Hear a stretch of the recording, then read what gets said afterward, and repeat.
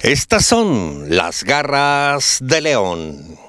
Un verdadero placer estar con usted nuevamente en este viernes, preámbulo de fin de semana, para enterarnos de lo habido y por haber en este mi Guanajuato chulo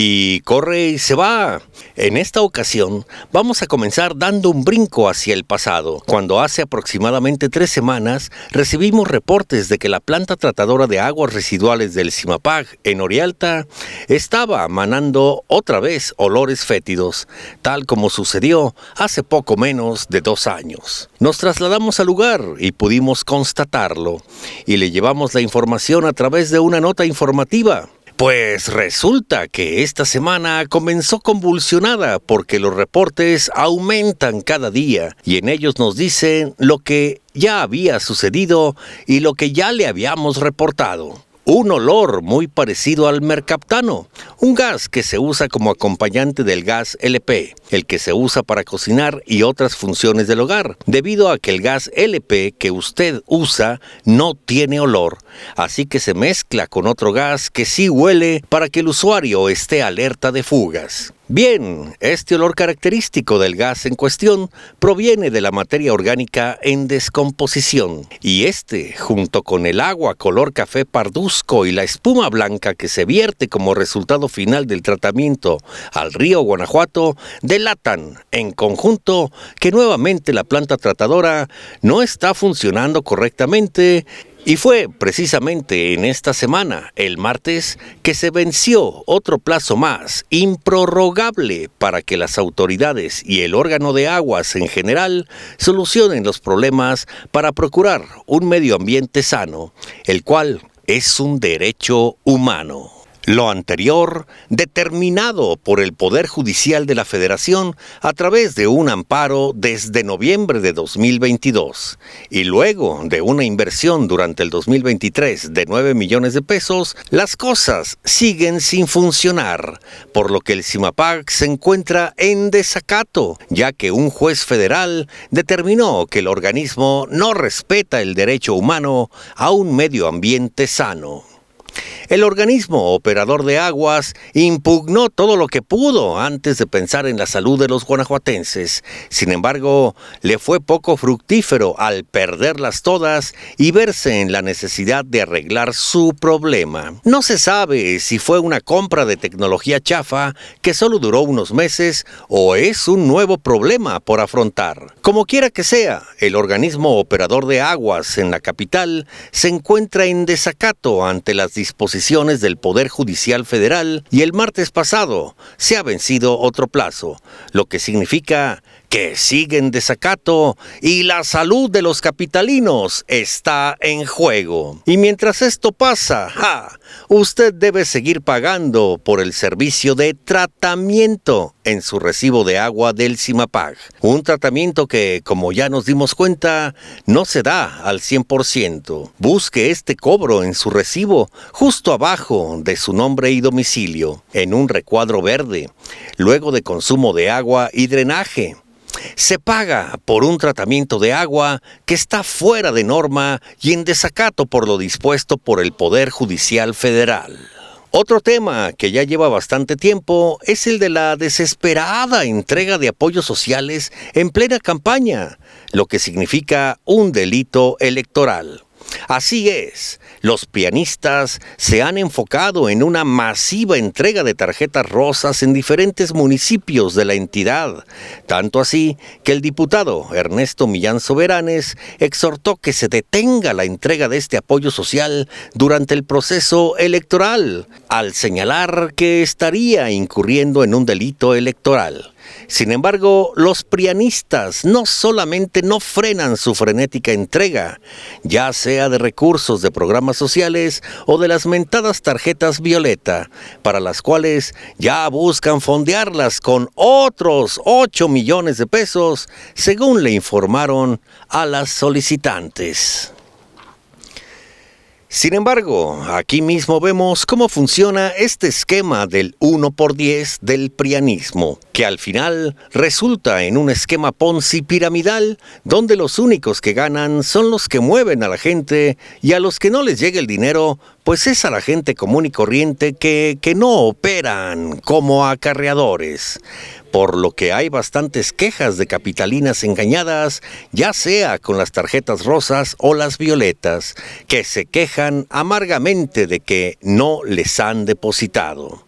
Esto ya es no tener progenitora. Y la pregunta es, ¿hasta cuándo dejarán de lucrar con la necesidad de la gente? Y es la misma gente la que está denunciando estas irregularidades electorales que continúan. Así es, los mismos capitalinos saben que entregar apoyos sociales como las tarjetas rosa y violeta en tiempos electorales es un delito así como es un delito utilizar hasta vehículos oficiales de dependencias de gobierno del Estado con propaganda de la candidata del PRIAN a la presidencia municipal de Guanajuato. Derivado de lo anterior, pues no es nada raro ir a la presidencia municipal o a las dependencias de Casa Guanajuato allá en Orialta para darnos cuenta de que se encuentran vacías, que hasta parece que por ahí acaban de arrastrar al diablo que de vez en cuando lo único que se percibe es el viento y el pasar de las plantas rodadoras del desierto. Así de vacía está la presidencia y dependencias, porque todo mundo anda en campaña, cuando esto es otro delito electoral que implica cooptar a los empleados del municipio para que salgan a hacer campaña en favor del partido en el poder bajo la amenaza de quedarse sin su trabajo. Asimismo, la amenaza contra comerciantes de quitarle sus permisos y una playa de más de chanchullos para hacerse de la voluntad de la gente, aunque sea a través de la amenaza y el amedrentamiento. Por lo mismo, estos capitalinos, que incluso ahora temen hablar, se acercan a los reporteros de TV Guanajuato para decirles que ya están hartos de esta dinastía que se quiere perpetuar en el poder, que ya chole con lo mismo y con las mismas tranzas. Por lo mismo, los capitalinos ya exigen un cambio urgente en Guanajuato. Y es por eso por lo que en silencio y reflexionando bien su próximo voto, las comunidades y colonias respaldan el proyecto del candidato de Morena, Jorge Antonio Rodríguez Medrano, quien continúa arriba en las preferencias electorales, no como lo marcan las encuestas compradas, que lo colocan en segundo lugar, nada más falso. Precisamente por eso le tienen tanto miedo y esto se demuestra con la cantidad ingente de ataques que se han hecho en contra de la campaña de Medrano. La querencia de la gente hacia Medrano se ha demostrado en cada uno de los lugares donde se ha presentado y ha platicado con el pueblo, principalmente en el barrio de Mellado, en donde el recibimiento fue cálido hacia un candidato que entiende la problemática a la que se enfrentan día con día los habitantes de zonas mineras donde se devasta flora, fauna y la salud de los guanajuatenses. Y el miedo del prianismo se demuestra en una locuaz y vertiginosa entrega e instalación de calentadores solares, tinacos, entrega de material de construcción y todo lo demás que a usted se le pueda ocurrir para comprar la voluntad de las personas. Por lo que Medrano ha propuesto regenerar el gobierno de la capital para que realmente sirva al pueblo porque actualmente la administración del muchacho Chicho se sirve del pueblo y lo vemos claramente en la frenética carrera por alcanzar al puntero Medrano. Estas administraciones no atienden las demandas del pueblo, por lo que, cobijado por el barrio de Cata, centenario barrio que lo vio nacer y en el que dio sus primeros pasos, reiteró su compromiso de llevar a Guanajuato a un destino más decoroso, más humano, sensible, empático y con una gran cercanía a la gente. Construir un Guanajuato digno y dignificar también la figura presidencial, ya que el presidente no puede ser un payaso como sucede Actualmente, el miedo del prianismo también se manifiesta cuando intentan robarse los proyectos ajenos, como en el caso de los centros de rehabilitación, ya que durante dos administraciones fueron perseguidos y clausurados, y la verdad es que con sus bemoles bien que hacían falta, porque el mentado Planet Youth nomás no sirvió para pura carajada nada más para sangrarle 300 millones de pesos al año al gobierno del estado. Y ahora resulta que para la candidata del prianismo sí son necesarios los anexos y las clínicas de rehabilitación. Y se ha colgado del proyecto de José Guadalupe Lara, conocido mejor como el Tócoro, que al final de cuentas es el que ha estado abonando a este tema durante los últimos años. También su hijo, Junior Lara, que se ha certificado ante la CONADIC, la Red Conocer y el SENADIC, y hasta este momento ha conseguido todos esos requisitos para poder ser considerado como un asesor en adicciones, debidamente certificado para dar la consultoría necesaria y establecer el programa de liderazgo de vida de cada uno de los jóvenes que intentan alejarse de las drogas.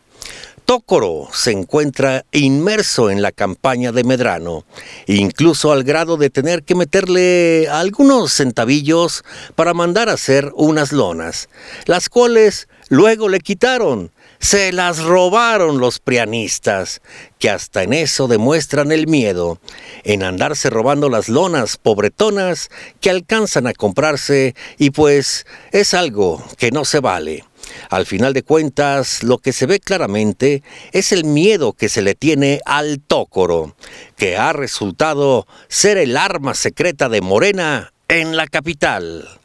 Y yo nada más le cuento de esto, pero además hay otras aportaciones de este gran guanajuatense que va a apoyar a otro gran guanajuatense como lo es el candidato Medrano. Y no, señores prianistas, no. Ustedes prianistas no. No van a poner la clínica de rehabilitación con todas las de la ley. La pondrá Medrano y Morena junto con el Tócoro e Hijo. Ya lo estaremos viendo para el beneficio social integral. Y estas fueron las garras de león. ¡Miau!